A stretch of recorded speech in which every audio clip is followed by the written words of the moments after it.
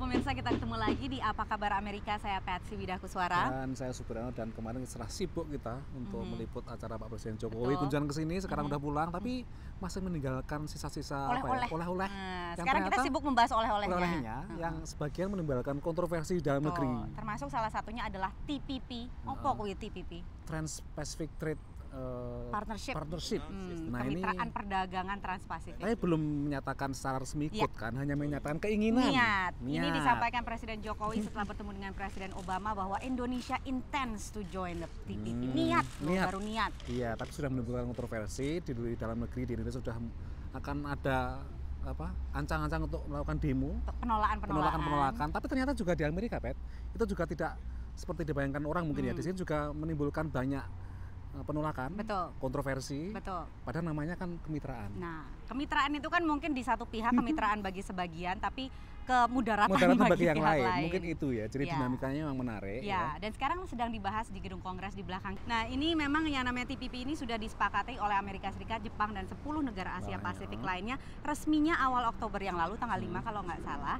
Dan sampai sekarang pun masih menjadi kontroversi di Amerika Serikat karena sekarang ini sedang proses menuju ratifikasi oleh Kongres. Dan itu sepertinya di Kongres juga banyak yang menentang, Hmm. terutama dari kubu Partai Demokrat ya. Partai Presiden Obama sendiri. Eh, Faksinya faksi yang liberal, yang Mhm. progresif. Ini, ini menarik ini, yang namanya TPP ini kalau biasanya Presiden Obama berseberangan dengan kubu Republik, Mhm. tapi dalam isu ini justru berdekatan, Berdekatan. dan bersekutu. Mhm, Nah, mhm. karena memang biasanya Partai Republik itu pro bisnis. Pro bisnis, Ya, pro sementara Partai besar. Demokrat lebih pro serikat buruh. Serikat buruh. Hmm, yang Nah. sekarang ini mengatakan bahwa yang namanya TPP ini atau ke perjanjian kesepakatan perdagangan sejenis TPP biasanya Hmm. selalu merugikan serikat buruh, Hmm. merugikan pekerja, pekerja Amerika. Amerika. Dan ini kan namanya kan memang intinya kan seperti perjanjian yang lain, NAFTA, Hmm. kemudian juga yang NAFTA, Eropa, ya. NAFTA itu kan memang liberalis- liberalisasi pasar Hmm. yang memang bagi para buruh di Amerika sudah mengalami itu ya, memang Hmm. ketika NAFTA misalnya itu juga akhirnya banyak perusahaan Amerika yang pindah Hmm. ke Meksiko yang lebih murah. lebih murah, Hmm. kemudian juga akhirnya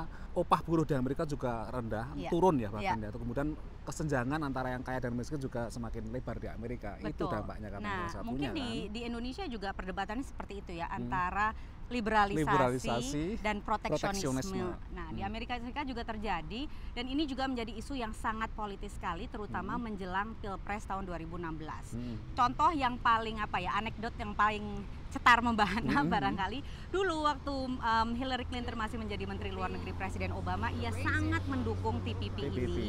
Namun setelah sekarang ini ia menjadi kandidat presiden, dia mengatakan tidak lagi Oh, mendukung. itu gimana kok? eh, Flip-flop. Flip-flop. Hmm. Namun yang namanya TPP ini sendiri memang eh, kalau di Gedung Putih Hmm. itu dijualnya adalah sebagai alat atau strategi untuk membendung ambisi dan meningkatnya pengaruh Cina di kawasan Nah, Asia itu salah satu Pasifik. tujuan meskipun juga ada sejumlah pengamat yang yang meragukan Hmm. efektivitas dari tujuan itu karena memang Cina sendiri sebenarnya sudah meng- sangat pengaruhnya di negara-negara anggotanya sudah besar dan Hmm. mereka juga memiliki uh, perjanjian bilateral dengan Hmm. Cina. Tapi juga ada misalkan ada tujuan juga ini bisa meningkatkan GDP Amerika nanti Hmm. selama 0,4 persen kalau nggak salah ke depannya. Mhm. gitu. Itu yang dijual oleh Dijual oleh Gedung Gedung Putih. Putih.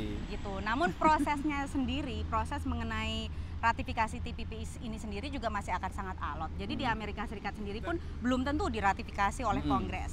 Apa pun hasilnya kita harapkan bahwa liberalisasi yang terjadi ini kalau misalnya nanti terjadi bermanfaat bukan hanya bagi perusahaan, ya, Perusahaan, baik itu nah. perusahaan Amerika, perusahaan Indonesia atau perusahaan Cina, Mhm. tapi masyarakat, Betul, rakyat. betul. Mudah-mudahan Termasuk kita, mudah-mudahan. Iya, harus ada kompromi lah ya. Baik, Hmm. seperti itu pembahasan kami mengenai polemik TPP di Amerika Serikat. Kami kembalikan dulu ke Jakarta. Saya Patsy Widakuswara. Dan saya Supriyono, Sampai jumpa.